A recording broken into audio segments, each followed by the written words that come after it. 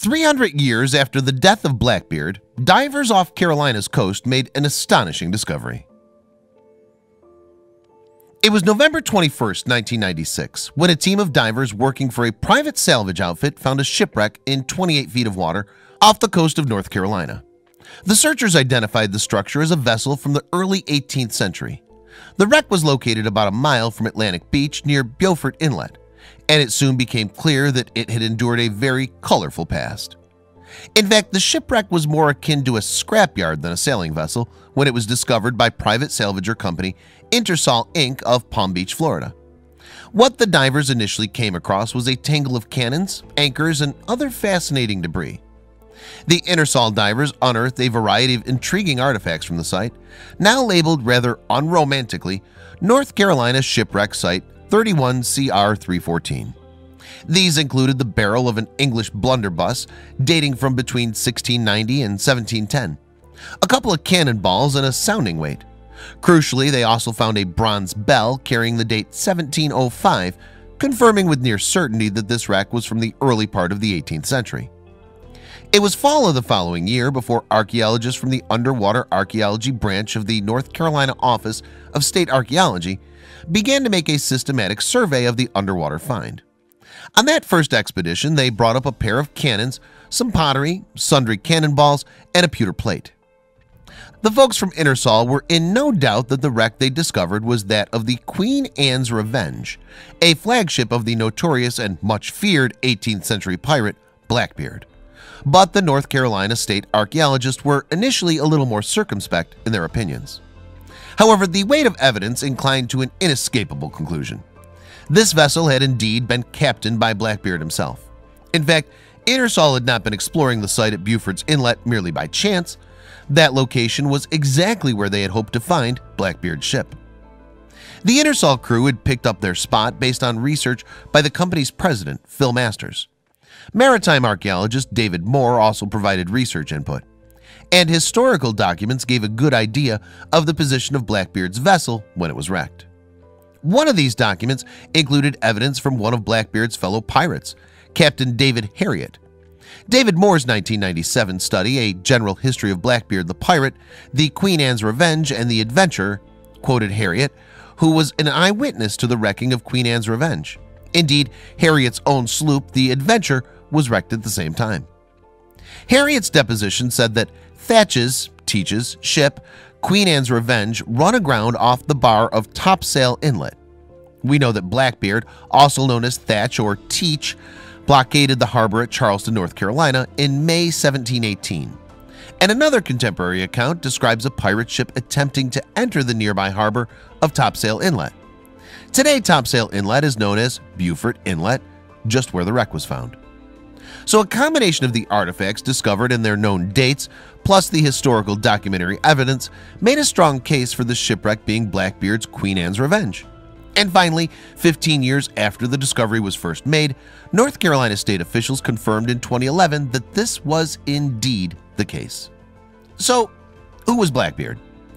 Well, we actually know very little of his background before he came to prominence as a pirate. He's believed to have been born around 1680 somewhere near the English seaport of Bristol. Even his real name's unclear. It's likely that he was either Edward Teach or Edward Thatch, but we can't be sure. Edward Teach is the name he's most commonly known by. Before turning to piracy, it seems likely that Blackbeard was a sailor based in Jamaica. He may have been a privateer who fought the War of Spanish Succession, which ran from 1701 to 1704. In 1716, he probably started his buccaneering career as a crew member with the infamous corsair Captain Benjamin Hornigold. By 1717, Hornigold and Teach were each captaining a single-masted sailing vessel. The duo cruised the waters around the island of New Providence in the Bahamas, harrying Caribbean merchant vessels. They variously plundered 100 barrels of wine and 120 barrels of flour from vessels they intercepted. A cargo of Madeira wine was also among their booty. On November 28, 1717, having previously parted company with Hornigold, Teach came across a French slave ship, La Concorde de Nantes, near the Caribbean island of Martinique. At 200 tons, this vessel was a much grander affair than the small sloops Teach had been sailing. The Concord had made two trips transporting slaves to the Caribbean, one in 1713 and the second in 1715. Her third voyage in 1717 would be her last as a slaver. It was on this trip that Teach, or Blackbeard as we can now call him, came across Concord and engaged her in battle. Blackbeard's two ships fired devastating broadsides at Concord.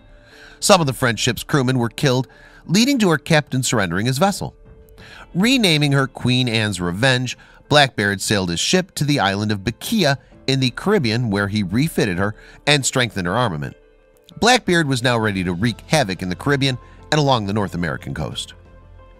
A report of one of Blackbeard's acts of piracy in the Boston Newsletter in 1717 recorded him taking, looting, and burning the well-defended merchantman, the Great Allen. The report noted that Blackbeard was now in command of the 32-gun Queen Anne's Revenge, a 12-gun sloop, and a 10-gun brigantine. Blackbeard was now commanding a small pirate fleet that in all likelihood included more than 150 men. Blackbeard continued to attack merchant ships and then in May 1718 he embarked on one of his most audacious schemes blockading the port of Charlestown, South Carolina. He arrayed his ships across the harbor mouth and refused to allow any other vessels to leave or enter. Over a few days, some nine vessels were stopped and stripped of their cargoes. Eventually, Blackbeard accepted medical supplies from the town and sailed away. Soon after the blockade, Blackbeard's flagship ran aground in Beaufort Inlet.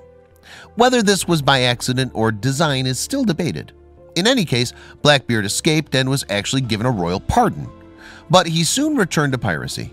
Justice finally caught up with him when a force led by Lieutenant Robert Maynard fought a fierce battle with Blackbeard's men on November 22, 1718.